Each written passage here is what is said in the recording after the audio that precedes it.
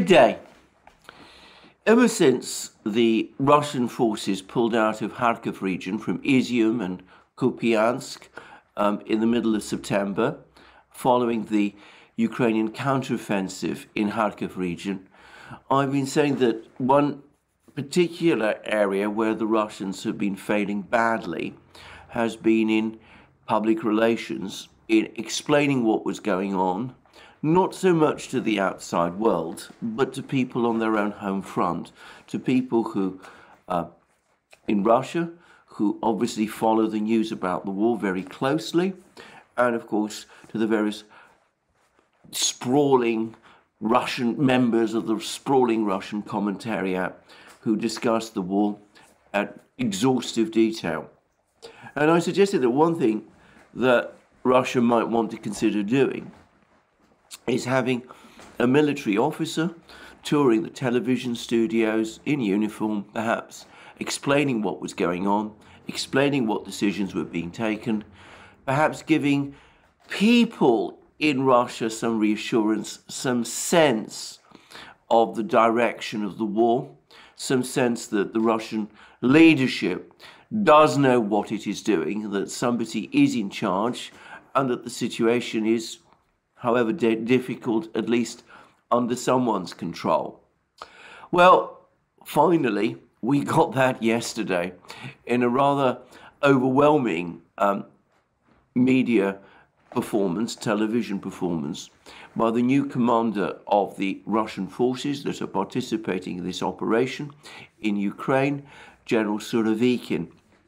He gave a television interview and the Russian populace saw him for the first time, and it was a quite remarkable performance. Now, if you want to get a sense of it, you'll probably be able to find examples of this on YouTube or on other places. Um, uh, in other, you know, if you search the internet, but my own view is that the best um, version, the, the, the, the best version of the interview shows Surovikin in action and provides subtitles in English of what he said is on one of the Russian telegram channels, on one called Slav- Slavyangrad. But as I said, there are many others, and you can find transcripts also. But I think the transcripts do not fully convey uh, the sense of force of Surovikin's personality. For one thing, he looks like a bull. I mean, he's he comes across. I don't know how big he actually is. Television cameras can be misleading about this, but he he comes across as a massive and rather physically powerful man. Perhaps he is, perhaps he's not, but certainly that was how the impression came across to me. And he has a way of speaking which involves uh, brief pauses followed by long, complex, complex but very emphatic sen- sentences which set out in a remarkably structured way exactly what he wants to say. And I'm going to say straight away that an interview of this kind, I am sure, has been carefully pre prepared. I don't believe that General Surovikin just walked into a television studio and was confronted with questions from an interviewer that he wasn't um, familiar with in advance, but that doesn't take away from its effect. So, what did Surovikin say? Well, he said a number of things. He spoke about uh, Ukraine as a fraternal nation.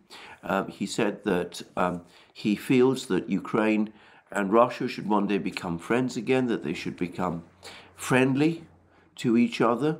This, by the way, suggests that if there is a plan to absorb Ukraine into Russia, um, at least at least not a plan maybe, but a option to re- absorb Ukraine into Russia at the end of this war, as Putin's words in Astana last week seem to leave open.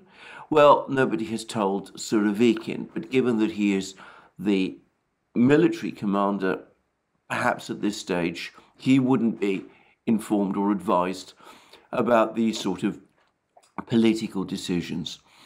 But anyway, putting all that aside, um, Surovikin said an awful lot more that was extremely interesting. Firstly, he said that Ukraine is now throwing everything it has into the battle. He spoke derisively of the quality of Ukrainian troops. He said that most of them now are uh, reservists who've been called up and are ill trained and ill equipped and are being thrown into battle against Russian defenses and that they're being killed in huge numbers. Some reports of this interview have said that he said that Ru- Ukrainian losses are running at the rate of 600 to 1,000 a day. I, I have to say that the versions of the interview which I have seen and what I consider to be the more reliable transcripts of the interview don't give figures that are that precise. They say that Ukraine is losing, hun- suffering hundreds of casualties every day, but they don't say 600 to 1,000. They don't give figures of at that level. He said that, anyway, to continue with what Surovikin said, he said that um, he, he went on to say that um, the um, um Ukraine is carrying out these offensives against Russian defenses. It's rather curious to hear him talk about Ukraine attacking the Russian army. I think most Ukrainians will feel that if, they, if, there, if there's been an attack, if there's been anybody has been attacking anybody, it's been Russia attacking Ukraine. But then, of course, Surovikin is a Russian general, so perhaps it's unsurprising that he would say that. But he, picked, he conveyed a picture of Ukraine under the rule of what he described as a criminal regime, casting clear doubts about its legitimacy and perhaps implying that its days are numbered. But anyway, Ukraine, under a criminal regime, throwing thousands of poorly armed, poorly trained conscript soldiers into battle against prepared Russian defenses and suffering hideous casualties. A, a perspective of the war, which, by the way, if you take out some of his more political and emotional language, I think is not that far from the truth in many respects. But anyway, um, also said that the regime in Kiev is acting essentially under NATO orders. He spoke of Ukraine as essentially a country occupied or controlled by NATO and by the collective West, and of Russia wanting to liberate it from that kind of control by the West. But importantly, he said that under NATO pressure, the Kiev regime is now going to attempt to launch some sort of huge offensive in Kherson region. And it was specifically in Kherson region that he spoke about.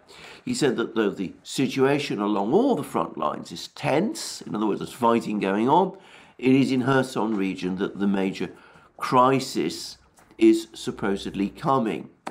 And he spoke about Ukraine being prepared to carry out what he called prohibited acts.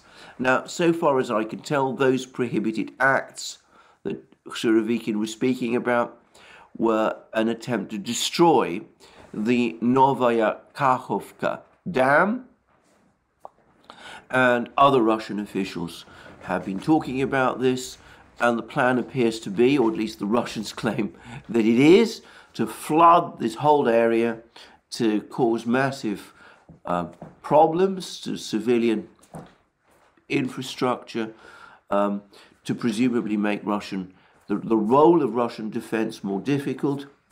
And he linked the decision by the authorities in Kherson region and by the Russian authorities generally to start evacuations of people from Kherson region very much to what is happening to this threat to this dam and also to the fact that as part of this offensive that Ukraine might be preparing, um, there's a high probability of heavy shelling of Kherson city and um, by the Ukrainian military. And then uh, Surovikin also said, and this is perhaps the most interesting part of his interview, that he would make decisions about what happens in Kherson according to the development of the situation, and that he's prepared to make the most difficult decisions. Now, earlier in the interview, he talked about how the Russian front lines are strengthening, how defense positions are being improved, um, and that, by the way, is correct. Um, we know that more and more reservists are Russian reservists, trained reservists, people, many of them have served, as I said, in the military quite recently. Many of them are now back on the front lines. The numbers of troops in the Russian forces is growing again.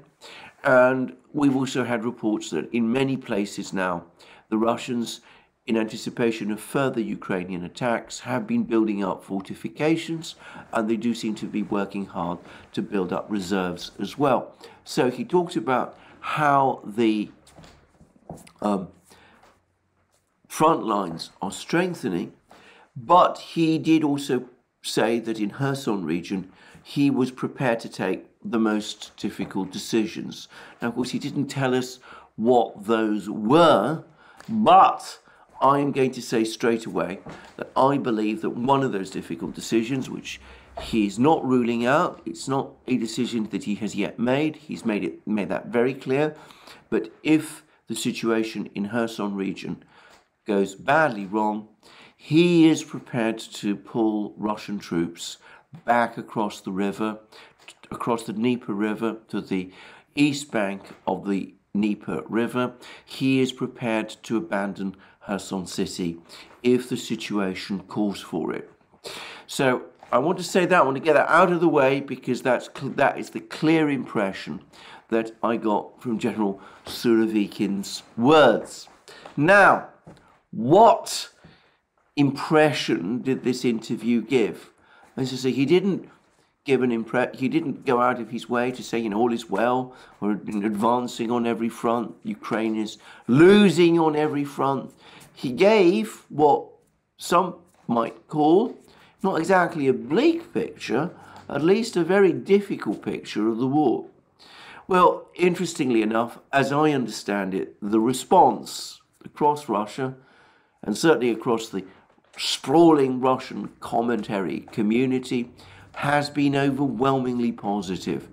They, they saw Surovikin, as I said, this rather overpowering looking man, this very powerful looking man, as I said, with this very interesting method of delivery, perhaps a method of delivery typical of Russian generals, for all I know, but um, anyway, it's the first time I've seen it, uh, been exposed to it, and I have to say it was both unusual, and I personally found it quite impressive, but there it is. But anyway, mo most Russians have see seen that, and I think they've come came away with the impression that this was somebody in charge who knew what he was doing, uh, um, was in control of the situation, was making the right decisions, could be trusted to make the right decisions, and had a clear objective of what he wanted to achieve. And Surovikin went out of his way to say that his overriding priority was to protect civilians and the lives of Russian soldiers, the latter being, of course, particularly important when Russia has been calling up reservists to engage in the war. So that was what General Surovikin said, or rather, as I said, uh, impressive uh, in its way, not offering, as I said, an over optimistic picture. But my own impression from what I've been able to, the sense I've been able to get, is that he pitched it, or whoever his media handlers perhaps were, who advised him that it was all pitched, this interview was pitched in exactly the right way. So, quite an impressive, overwhelming performance, and one that all the Russian channels have been buzzing with. And in fact, we have been getting lots of reports about people being evacuated from Kherson region.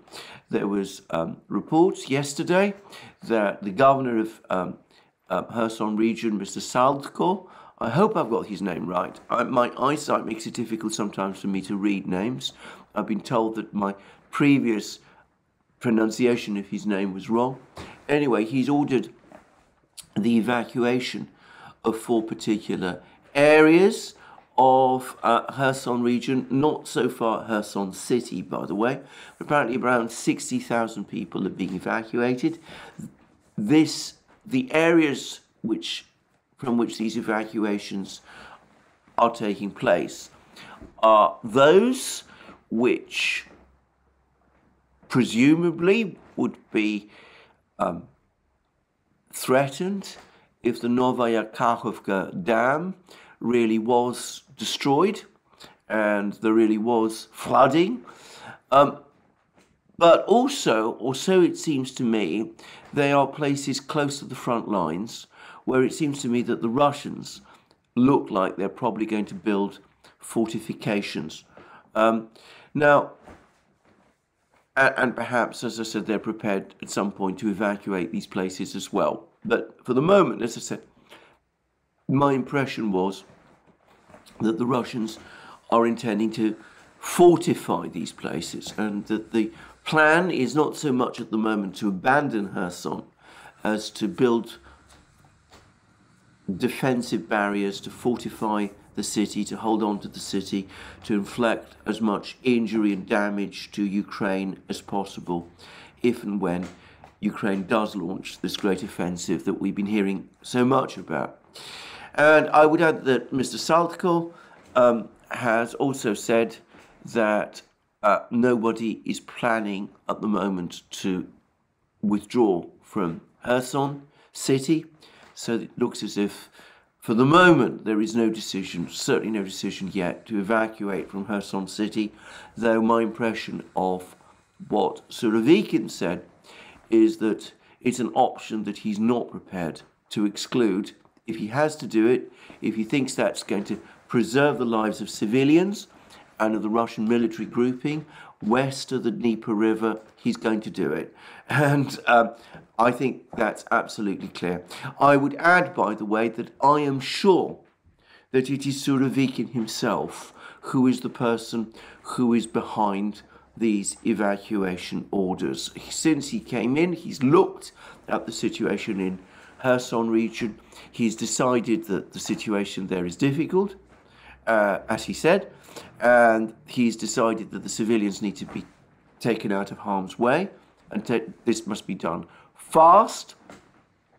There's also some reports that the civilian administration in Kherson city has also been ordered to transfer to the east bank of the Dnieper. This I can't confirm, by the way.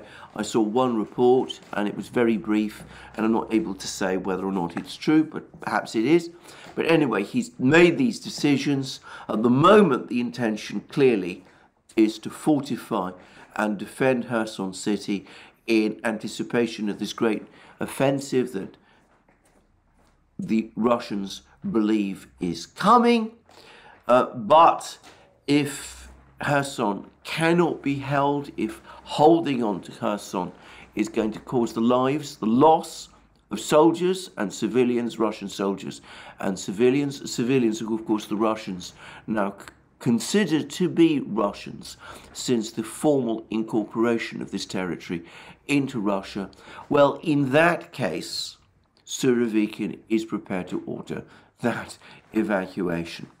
Now, what is the military situation in Kherson region at, like at the present moment in time?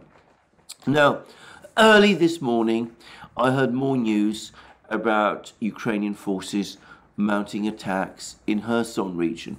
I have to say that they don't remotely, or so it seems to me, live up to the impressions given by a lot of Russian officials uh, by people in the West on telegram channels of some great offensive being underway.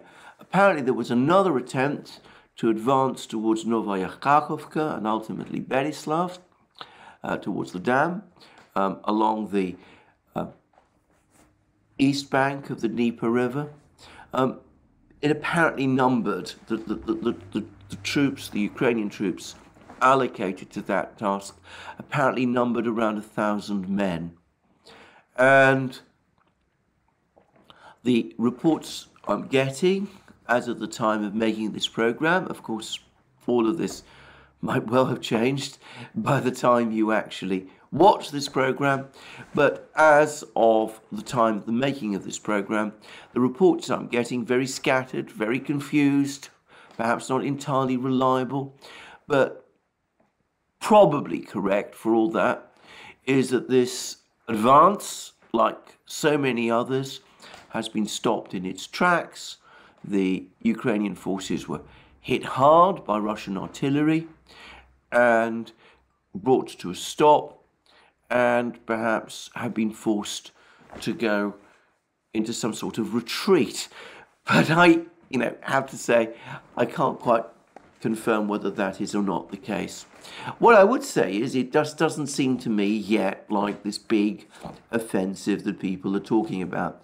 Now, I, I would come back to what some suggestions were, some suggestions that would be made yesterday, which is that this big offensive isn't happening this week, it's happening next week, uh, supposedly, and that these are allegedly just probing attacks, attacks being carried out to identify the weaknesses in the Russian positions. I have to say, if that is so, then I find that extraordinary.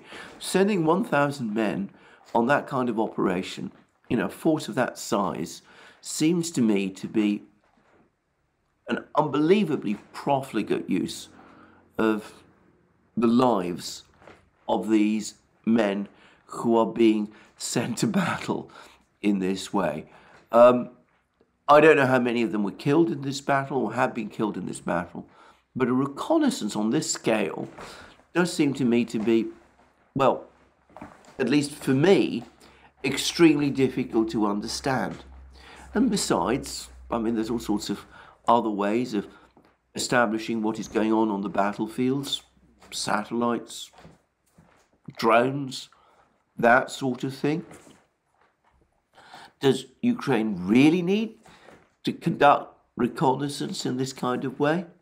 But anyway, I, I, I'm not going to get into those discussions about things I don't pretend to understand very well. No doubt people on the chats, on the threads to this video can go over that and discuss more precisely what it all means. But overall, um, if it is a reconnaissance, I don't understand it. And whatever it is, it looks as of the present time as if it's not achieved very much and has been thrown back.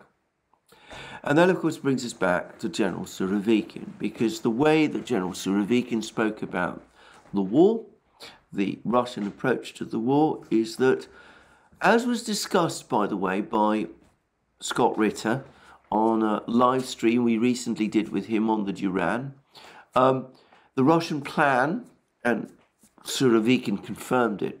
is not massive, tremendous advances it isn't even to capture territories exactly. It is to grind down the Ukrainian army. Surovikin repeatedly used that word. He used it twice. I say the, that word, I mean, this is the translation of it, but the expression, I presume, is the same. He said that the Russian intention is to grind the Ukrainian army down. Now, this is something he said that has been the plan as announced by President Putin, and it's clearly been the Russian approach to this war all along. They do take territory incrementally, steadily, but from the outset of this war, their purpose has been to destroy Ukraine's military. They destroyed as far as they're concerned, the Ukraine's original military, the one that Ukraine started the war with back in March, April, May, June. They're now having to deal with this second military that Ukraine has thrown at them, which was built up with NATO help over the course of the summer. Eventually, at some point, Surovikin does appear to believe, the Russians do appear to believe, that Ukraine will run out of men and machines, and the West will run out of its ability to keep supplying Ukraine with machines, and at that point, the war will end with a Russian victory. That, it seems to me, Surovikin clearly indicated was the plan. That doesn't mean that the Russians don't anticipate or don't intend to capture ground. Of course they do. Of course they are intending to launch offensives in various places to recover lost ground, to capture new ground, to take places like, well, obviously Bakhmut. We'll come to that place in a moment, to Kramatorsk, Slavyansk, perhaps Kharkov, perhaps Odessa, Kherson, they presumably intend to recapture Kherson if they ever do decide to withdraw from it. They're prepared to do, they, they will carry out offensives when they choose to and when it makes sense for them to do. And obviously, gaining territory is important, but throughout this war, they have prioritized destroying Ukraine's military, its defense capability, something which far too many people in the West still seem to me to find very difficult to understand. But anyway, Surovikin made that absolutely clear. So that's where we are with the situation in Kherson region. I've discussed a lot about the weather in recent videos. Apparently it is now starting to turn bad. Friday, the rains are going to start falling, the situation is going to become muddy. But it seems that the imperative, the political imperative for Ukraine to launch this offensive is so strong that they're prepared to try and find ways around whatever problems are caused by the mud, even if that slows them down and even if that causes casualties. And Surovikin, for his part, looks like he's preparing to take them head on but at the same time, he's leaving his options open. He's going to inflict as much damage and as harm to Ukraine as he can. But his priority always is to preserve his own troops. Now, he did say a number of other things, and I'm going to touch on them fairly briefly. He talked about the performance of the Russian Air Force. He said it's carried out, I think he said 38,000 sorties which may sound a lot, but is actually only a fraction of what the United States did, for example, over Iraq. And um, given that Surovikin was until recently the head of Russia's aerospace forces, he presumably was party to the decisions to use this air force, the Russian Air Force, in this fairly limited way. Um, presumably, it's partly because of Ukrainian air defenses, which are still, you know, quite formidable, certainly a lot more formidable than those that Iraq had. But I think, to be frank, I think the Russians feel that they're achieving pretty much anything that an air force could achieve, that jets could achieve with their missile and drone strikes across Ukraine. And those, of course, continue at the same level of intensity that they've been doing ever since the day after the attack on the Crimean Bridge. And um, even as I've been making this video, I've been seeing reports that more Ukrainian energy facilities are being destroyed, more infrastructure is being destroyed. It's clear that Ukraine is now facing a desperately difficult winter. And by the way, I've also seen reports that some European central banks are now um, issuing instructions that uh, conversions uh, of their uh, of uh, of euro of euros on their national territories into Ukrainian hryvnia and you know backwards and forwards conversions of the hryvnia into euros and euros into hryvnia on their national territories is no longer permitted, which suggests that these central banks may be thinking that some kind of hyperinflation crisis in Ukraine is on the horizon, or perhaps at least that you, the hryvnia is about to lose substantial value. Well, anyway, that's where we are in Kherson region. That's where we are with the missile strikes. Now, it's fair to say these are not the only military events which have been happening um, across Ukraine over the last few hours. The Russians are reporting that there was another amphibious landing by a Ukrainian assault force which tried to capture the Zaporozhye nuclear power plant and that it was defeated and thrown back with heavy losses, which is seems that the persistence of Ukraine in this is, is really quite remarkable. And um, I have to say, um, again, suggests some element of obsession, or as the French would say, idée fixe about this. And perhaps more interestingly still, we're now getting reports that the Russians have gone back on the offensive in um, Kharkiv region, that in the area of Kupiansk. It's the Russians who are now gaining ground and the Ukrainians who are losing it. Remember, a couple of about a week ago, we learnt the same thing was happening in the area of Krasny Liman. And one can't help but feel that what's basically happening is that Ukraine redeploying troops from all over the place, stripping its front lines to build up this assault force in Kherson region, is making its front lines in many various places um, increasingly vulnerable. Now, all this is interesting that the Russians are attacking in these places, but again, perhaps the most interesting developments are in and around Bakhmut city. And this morning, there were a whole lot of reports of further significant advances by the Wagner Group and the Russian military. And by the way, I read yesterday that there was at least one brigade of the Russian regular army supporting the Wagner Group in the attack on Bakhmut city. Um, anyway, uh, there were reports that more of the suburbs, the strategic suburbs of Bakhmut city, have now been captured. More territory in these suburbs has been captured, and that the Wagner Group has now almost reached one of the key roads that link Bakhmut city to, uh, uh, to the rest of Ukraine, and which is used by Ukraine for resupply, and that this road is now being heavily shelled by the Russian military.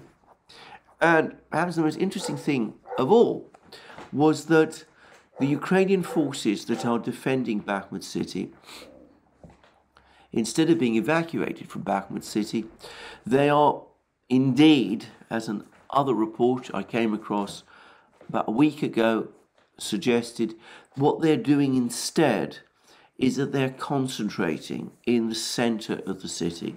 So instead of Bakhmut being evacuated by the Ukrainians, apparently the intention continues to be to hold it to the last man, to allow perhaps the Ukrainian forces there to be surrounded, to repeat, in other words, what happened in Mariupol, which it seems to me is illogical and, dare I say inhumane, but that does seem to be the strategy. Contrast that with General Surovikin, who talks about the fact that the lives not just of civilians but of his soldiers, preserving them is his priority. So, very different style of conducting war. And I have to say, all my misgivings, all my concerns about the way in which the Ukrainians seem to be intent on clinging on to places like Black Bakhmut and Mariupol are, be, are again being reinforced. And I wonder what the reasoning behind this is. Is there some thought that the longer Bakhmut is held, the more the Russians are forced to commit forces to capturing Bakhmut, the easier it will be for the Ukrainians to hold the line in other places. That's a very brutal calculus. War can be brutal, and I, I accept that, but I do wonder whether, if it is a question of holding on to the front lines in other places, redeploying some of those soldiers who might be dying in Bakhmut to those other places might be a more humane and cost effective thing to do? Well, I don't know. Or could it be that in these endless seesaw battles that we hear reports about, but whose existence I cannot confirm, between Zelensky and General Zaluzhny, Zelensky, who wants to cling on to every millimeter of territory, is once again winning out against General Zaluzhny. That at the time of the Severodonetsk, Lysychansk battles, Zaluzhny was briefly in the ascendant. He was able to get those troops pulled out of Lysychansk, even if it meant leaving all the heavy equipment behind. But now, perhaps emboldened by his offensives, or perhaps more plausibly, becoming increasingly worried that the political pendulum is turning against him and that the time is running out for Ukraine. Um, Zelensky may be insisting that every single millimeter of ground be held regardless of the cost. Anyway, whatever it is, that's the way it's starting to look. And there are reports, by the way, and I think this time we can take them for real, that though most of the fighting continues to be in the suburbs, some Russian troops, including no doubt Wagner organization troops, have indeed penetrated to the center of Bakhmut and are engaging Ukrainian troops there. Anyway, that's where we are on the battlefields. There is a political dimension to what's going on. Um, we got reports late last night that President Putin of Russia was about to convene the Security Council, Russia's Security Council, its top decision making body. And the Security Council was going to hear a detailed report from Dmitry Medvedev, who is its deputy chair, and who was, has, of course, previously served first as Russia's president and then as Russia's prime minister. In other words, a very senior man. And as I've been making this video, there's been a trickle of information that the Security Council um, has is in discussion with Russia's Federation Council, the highest, um, the highest, the higher house, the upper house of the Russian Parliament, um, on the declaration of martial law in the four regions: Kherson, Zaporozhye, uh, Donetsk, and Lugansk. I think that was predictable, actually, now that they're part of Russia and some kind of military operation is taking place there. It's entirely understandable that martial law should be imposed on these places and also that some kind of joint coordination headquarters of some kind um, is also going to be set up, which again, I have to say, um, is again exactly what I would have expected. Um, now, I have not been able to go through all the material that's been pouring out of the Security Council meeting. That I will have to do after this video is finished and I will no doubt discuss it further in my next video tomorrow. But it is consistent with a lot of what I expected would happen when the decision to annex, or if you prefer, incorporate the four regions into Russia uh, was first taken, I said that one of the reasons for that decision, quite apart from whatever ultimate political or geopolitical plans the Russians might have um, for Ukraine, for these four territories, but one of the most pressing reasons why that incorporation or annexation has taken place now is because the Kremlin will want to unify and consolidate political control. It'll be it wants to have a situation where it is there is no longer any doubt that people like Denis Pushilin, who heads the regional government in Donetsk, that he is actually subordinate to the Kremlin and must take their must follow their instructions from this point forward.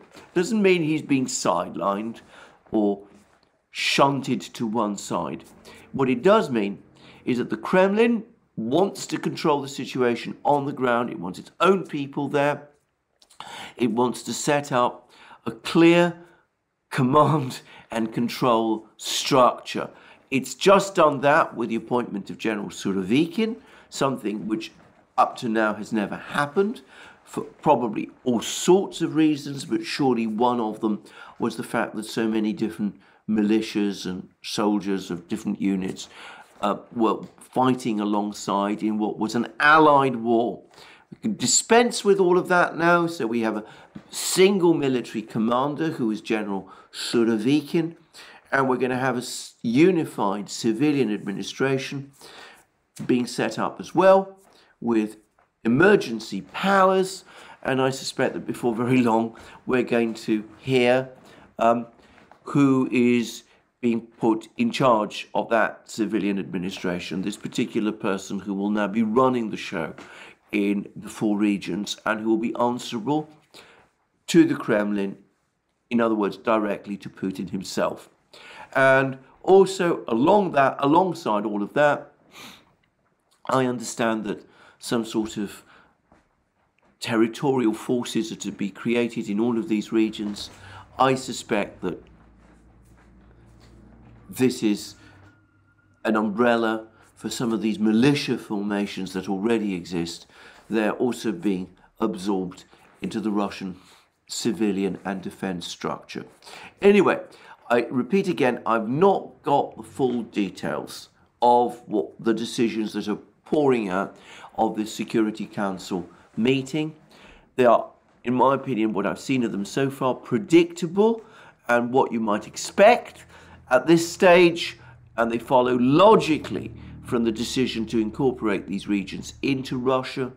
But I will have to go over these decisions in more detail um, after this video is made later this evening when I've got more time read them through and you'll get my proper full analysis of them tomorrow. In the meantime switching to the west and switching specifically to Britain which is of course the country where I live I'm getting the sense of a sudden collapse here in morale, not so much on the part of the British population, who have already absorbed multiple shocks, but within the political class. I think the events of the last few weeks, Kwarteng's disastrous, Chancellor Kwarteng's disastrous mini budget, um, his forced resignation, the intervention of the Bank of England, and including the political intervention of the Bank of England, the implosion at supersonic speed of Prime Minister Liz Truss, the sense that the Conservative government is now almost at the end of its road, all of that signals the first moment of realization, the dawning realization by the political class, not just by the way that part of the political class which supports the Conservative Party, even members of the political class who are affiliated to the Labour Party. I think this is the first moment when they finally understood how critical and how bad the situation in Britain is becoming. And one thing, more than any other, to my thinking, signals the extent of the decisions that have to be made in the face of this. And of course, it's a decision which must fill every part of the political cast with huge foreboding. Now, there's been much discussion in the media about Kwarteng's tax proposals, but as I've said on many occasions in several places, if you're looking at the overall problems with his mini budget, the tax proposals were only a very small part of it. I've seen one figure suggest that they were that their total cost would have been around two, perhaps three billion pounds. Perhaps that's an underestimate, I don't know. But the single biggest cost for the British Treasury was Kwarteng's decision to support household budgets with respect to energy costs. And that was going to cost 150 billion pounds, an astronomical amount of money, and it was expected to go on uh, for two years, in other words, until the election. Well, the British government has now been forced to accept that it can only continue for as long as April, even if it continues as long as that. So in April, British households are going to be faced with a huge, huge further surge in energy bills on top of the surge in energy bills that they had to absorb um, in April of this year. And in the meantime, of course, Britain's budgetary position has been weakened. And what this signals, what this event has signalled, is that Britain cannot indefinitely sustain the economic costs of this war of economic attrition that they so fecklessly launched alongside all the other Western powers back in February when they decided to impose their sanctions on Russia. Now, you won't find anybody putting it as simply as I've just done. Well, why are energy costs rising across the West? Why have the situation become so difficult with energy across the West? It is a product of the economic war. And there is also um, signs that things on other fronts might not be going so well either. Um, at the moment, gas prices in Europe have fallen, and they've probably done so. This is my own personal view because of the various steps that European governments have been trying to take to try and screw them down. It's very much like the way in which the Biden administration tried to put downward pressure on oil prices ahead of the midterms by um, by um, releasing oil from the US's strategic reserves, depleting those reserves. I don't think this is sustainable.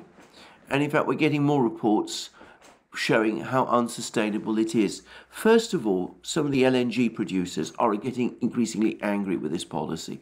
So Qatar has apparently indicated that it is no longer prepared to supply Europe with LNG.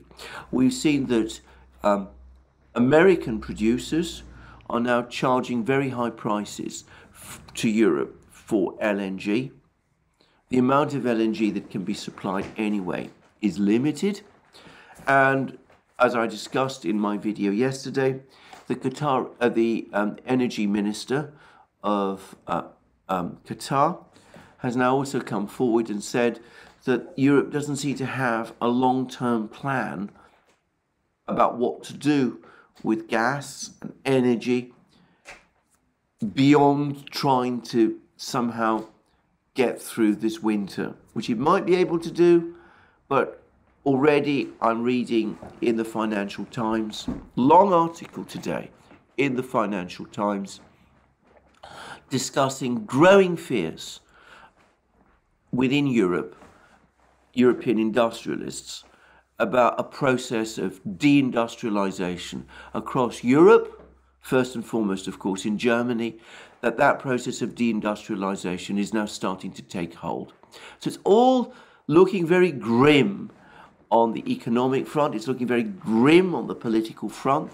There's an article in the Daily Telegraph by an economist, a good economist called Jeremy Warner, who warns that Britain's problems today, which everybody expects are going to spiral into the financial system at some point, that they're simply a precursor of what's going to come to Europe also fairly soon. And about that, I agree.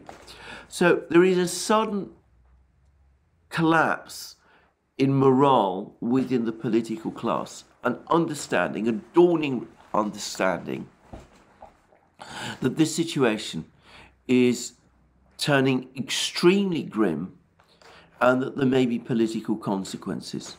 In Britain, the Conservative Party seems now to be reconciled to the prospect that it is going to lose power and that it is going to lose the next general election.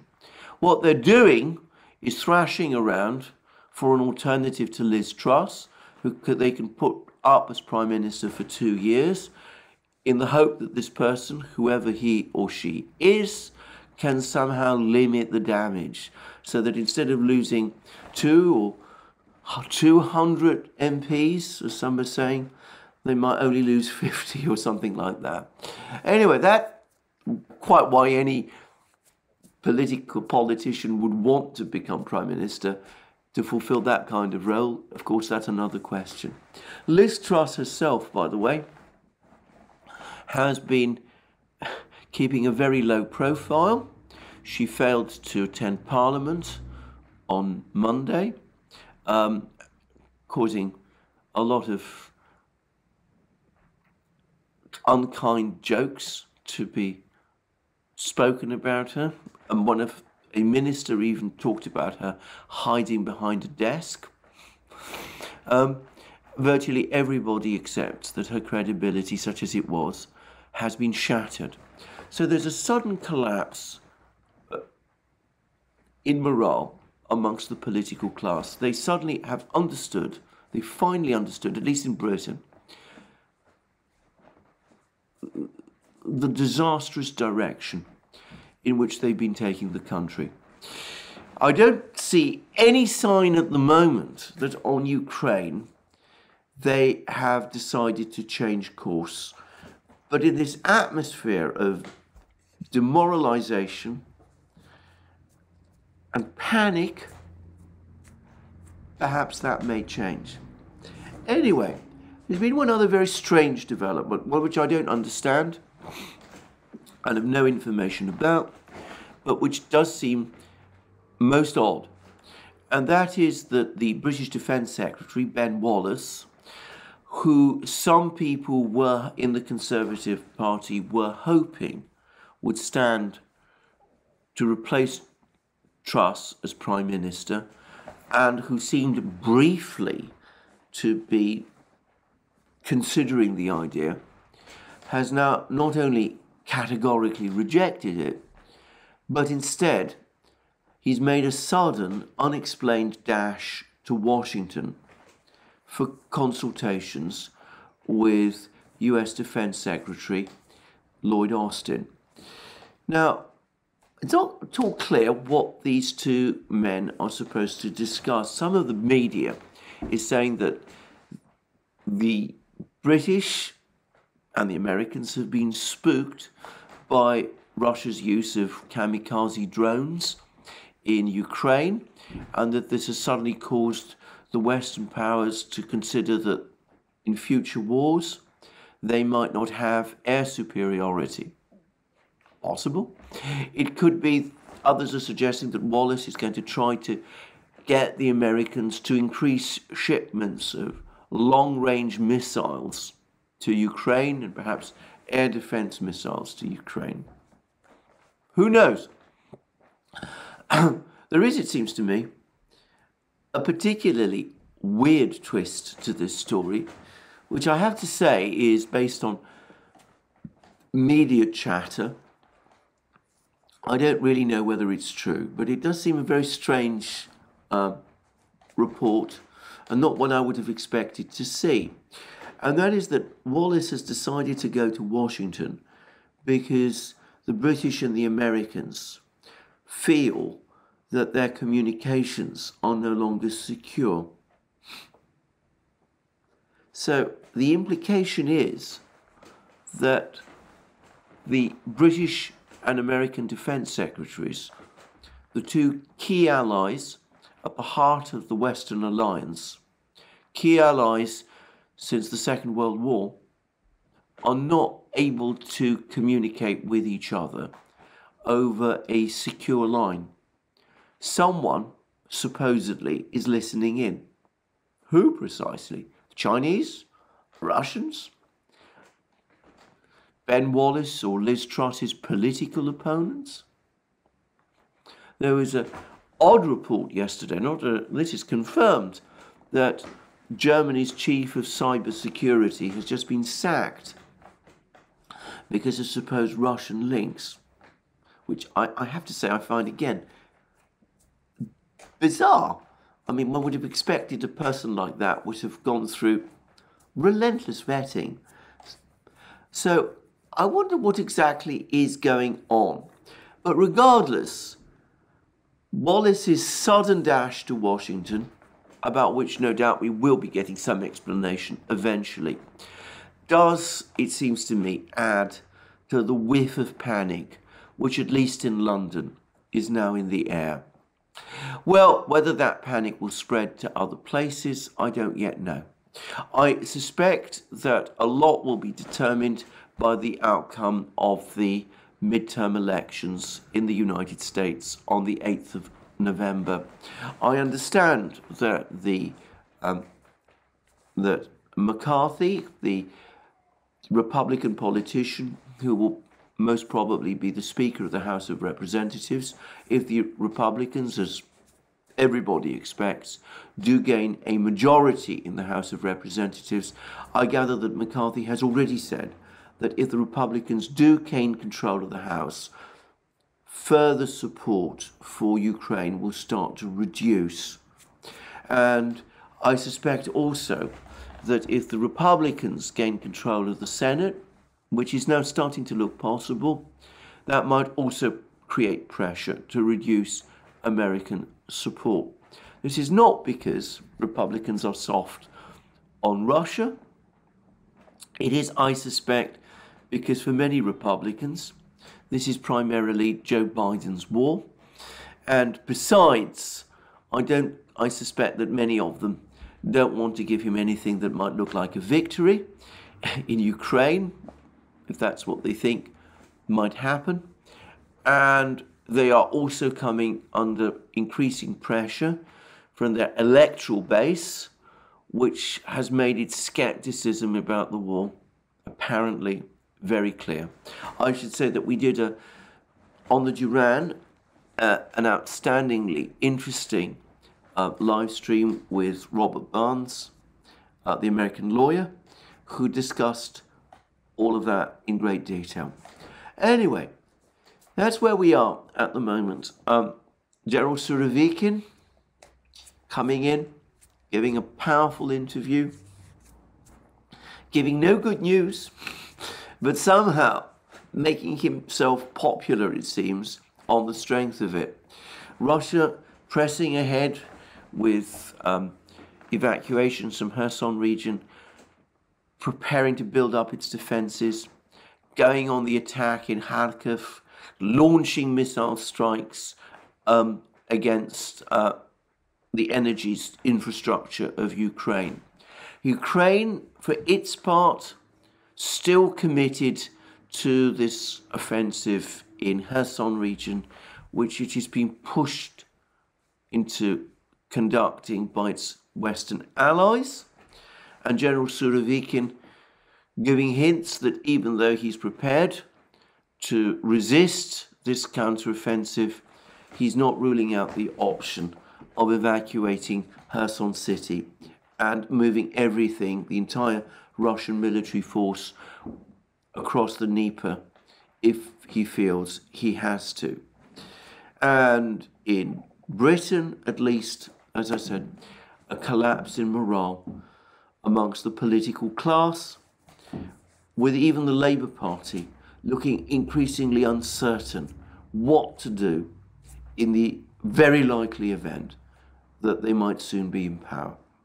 So we're living through interesting times, and I'm afraid the probabilities are that before long they're going to get more interesting still.